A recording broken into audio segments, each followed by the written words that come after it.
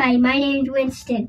I want to do a story about Lucy, Lucky, and Snickers. Okay, Lucky is a very good dog, but Lucy. She just bites. Sometimes she just bites, and, and every time we wake up in the morning, she just licks and licks and licks. And Snickers is fast.